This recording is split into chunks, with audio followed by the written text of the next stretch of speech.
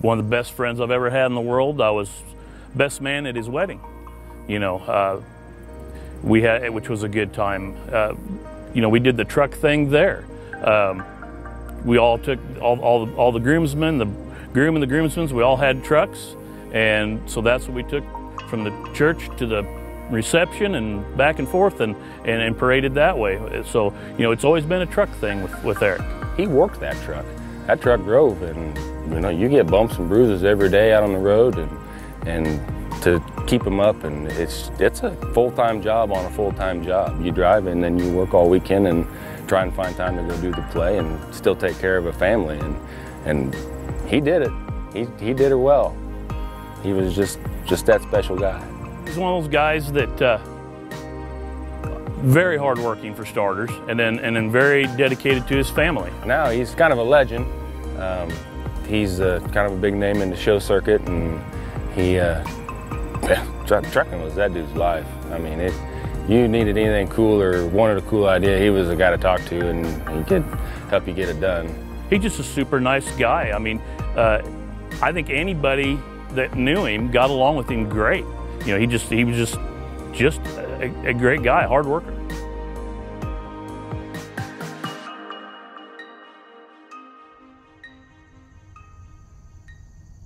He had uh, lymphoma, and he was diagnosed. Oh, God, when was it? It was just after the truck show last year. So he it, it's very aggressive, and he fought really hard till right up to the end, and it was just there's nothing more we could do. You know, this year was our 12th year for our truck show, and uh, we decided this year, as a tribute to Eric, uh, we were going to do something a little bit different. His wife asked us if we could do a convoy. Uh, for Eric, it was one of the things they, it's kind of a thing they do at some of the larger truck shows. And she said that was one of his most favorite things to do was, was to partake in the, in the convoys. And I, we talked and I said, yeah, I think it's something we could probably squeeze in. And I drove Eric's truck. Uh, his wife and his two girls rode along with me and we led the convoy and we had almost 50 went on with us and uh, so we convoyed from there the 40 miles to Beattie and it was spectacular.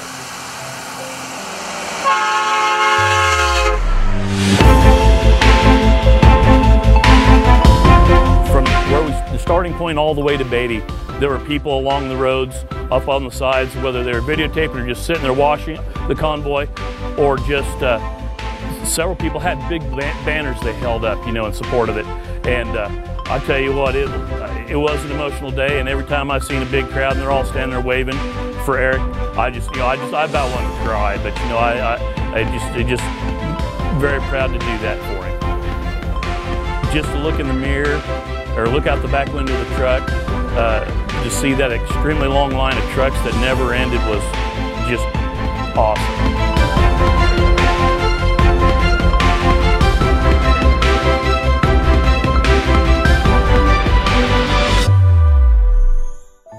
Just this, the trucking community is we're very close knit and uh, they just everybody said it was just one of the best experiences they've had and the camaraderie and the, the sights that you'd see coming down a hill and you just see nothing but trucks in front of you and nothing but trucks behind you.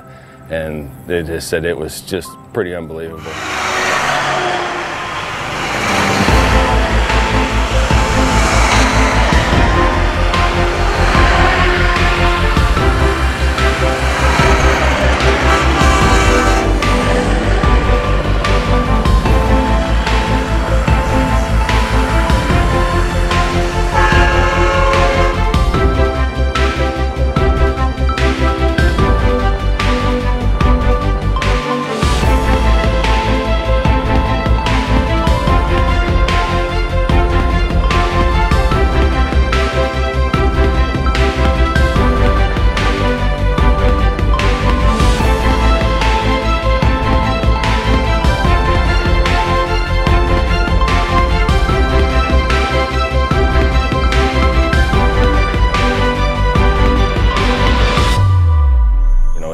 A good send off for Eric that day.